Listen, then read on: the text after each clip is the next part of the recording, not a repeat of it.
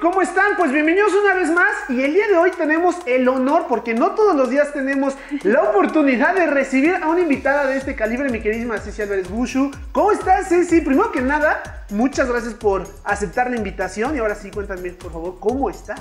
No, pues primero que nada, muchas gracias por recibirme, para mí es un honor también estar aquí. Y pues estoy, claro, un poco triste por terminar el hexatlón, la verdad es que sí me hubiera gustado, me hubiera encantado llegar hasta la final, incluso me veía. Eh, pero estoy contenta dentro de lo que cabe, estoy muy feliz de poder ya comunicarme con mi familia, de estar conviviendo con ellos, eh, de comer taquitos, algo que extrañaba muchísimo también. Y pues emocionada con todo lo que sigue después de, de Hexatlón.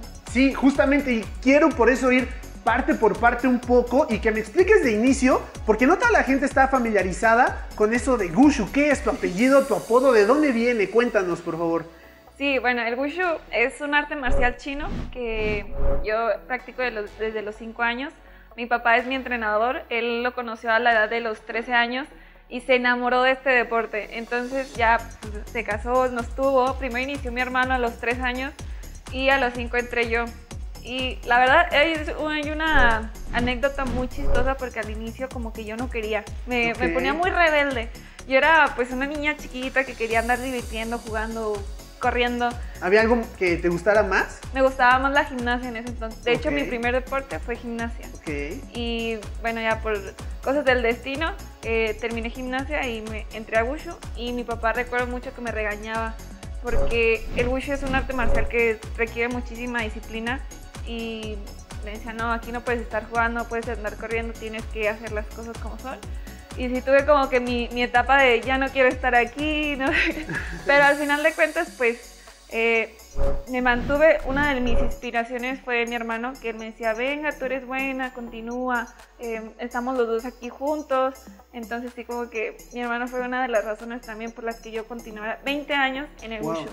Está súper bien. Entonces, ahora que ya sabemos un poco más acerca de esto, entrémonos más a la situación de Exatlón, ¿no? Donde quisiera que me contaras un poco eh, tus mejores momentos, o sea, lo más personal que tú digas, ¿sabes qué? Me llevo esto, recuerdo mucho ahora que ya salí eh, este día, esta competencia, y también de qué amigos tú crees que realmente, de que no conocías, puedes decir, eh, de, no sé, en un tiempo puedo hablarle porque realmente me gané su amistad. Es, una persona que va a continuar en mi vida. Bueno, tengo dos personas que se volvieron muy especiales en tan poco tiempo. Eh, eh, una es Jenny, Baby Blue, y Yusef. Eh, ellos fueron como parte esencial. En esta parte de Exatlón hay muchas cosas que no se ven dentro de cámara y la verdad es que estar en una aventura incomunicada de tu familia sí como que te remueve muchos sentimientos. Entonces son dos personas con las cuales yo pude abrir mi corazón, incluso pues ellos también conmigo. Me recuerdo mucho con Yusef, hubo momentos en los que yo me sentía muy bajoneada. Por ejemplo, cuando se fue Jenny, sí, me sirvió muchísimo hablar con él. Eh, fue muy difícil despedir a una amiga con la cual me la pasaba todo el tiempo, literalmente todo el tiempo estábamos juntos. Y pues el conectar con ellos fue, fue, como que una experiencia de las que más recuerdo de Exatlón y con las que más me llevo como que abrazándolas, porque sí fue algo muy especial, sí es una amistad muy especial. Ok, perfecto. Y pues bueno, dentro de lo que ya queda, ¿no? Dentro de Exatlón, ¿qué es lo que tú ves que puede venir más para adelante, ¿no? O sea, me refiero a los términos de ¿Quién es tu favorito? ¿Quién crees que por ahí puede dar la sorpresa? De, los que tal vez escuchas que la gente tal vez no habla mucho de ellos, pero que pueden dar la sorpresa más adelante. Y bueno, claro, como ya mencioné, tu favorito en la competencia. Bueno, mi favorito de ambos equipos y el que yo quiero que esté en la final es David La Bestia. Es un hombre increíble. Me permití conocerlo de otra manera fuera de Exatlón, de, me platicó sus proyectos. Es un hombre muy emprendedor también y le echa muchísimas ganas. Todos los días lo veía entrenando y de todo el equipo era como que el favorito ¿El más para disciplinado? Sí. Ok. Y pues que nos puedan dar sorpresas. Me han dicho que Evelyn y Cassandra fueron muy buenas en sus temporadas, que, que todavía pueden despegar más. Entonces sí me gustaría que ellas estuvieran en la final también. Perfecto, muy bien. Y pues ahora nada más para cerrar este segmento, me gustaría que me dijeras qué viene para Ceci Gushu más adelante a corto, a mediano y a largo plazo. ¿qué es lo que, bueno, obviamente dejando un poco de lado tal vez Exatlón o, o inclusive como aprendizaje de Exatlón, ¿qué viene para ti en estos tres términos? Bueno, en corto plazo yo tengo un negocio que se llama La Baja Taquería ahí en Monterrey. Y es un negocio que iniciamos mi novio, mi cuñado y yo. Entonces yo soy la parte de publicidad, mercadotecnia Ok. y sí hizo falta un poco de, de mí para, para poderle dar un poco más de difusión. Y quiero aprovechar ahorita Exatlón que me ha dado tantas oportunidades de pues darle más difusión, que lo conozca más gente. Es un negocio que le estamos echando muchísimo corazón.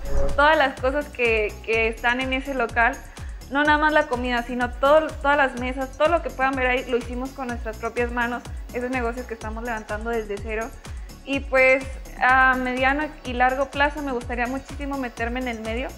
Voy a tomar varios cursos de, de actuación, me gustaría. Es uno de los sueños que tengo desde ¿De chiquita. verdad?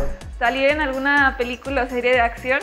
No sé, tipo lo que hace Jackie Chan. Ahorita, por ejemplo, también lo que hace Isa González, para mí es como que una de las cosas que a mí me gustaría estar haciendo. Y pues yo espero que también pues todas las oportunidades que se me van a brindar me, me abran esa puerta. Perfecto, pues Isa, ya escuchaste, aquí tienes a tu próximo talento para que la jales. Pues muchísimas gracias, Ceci. Continúen con muchísimo más eh, contenido, viendo todo lo que les tenemos preparados aquí en Gluck, porque Ceci tiene todavía mucho más, ¿no? Para Sí. nosotros. Claro que sí. Igual si pueden seguirme en mis redes sociales. Ahí voy a estar poniendo todos los proyectos que voy a ir haciendo. Si nos puedes repetir, porfa, nada más para que lo estén apuntando. En Instagram, Facebook, YouTube, eh, Twitter me encuentran como Ceci Wushu y ahí voy a estar publicando todo, todo de mi vida.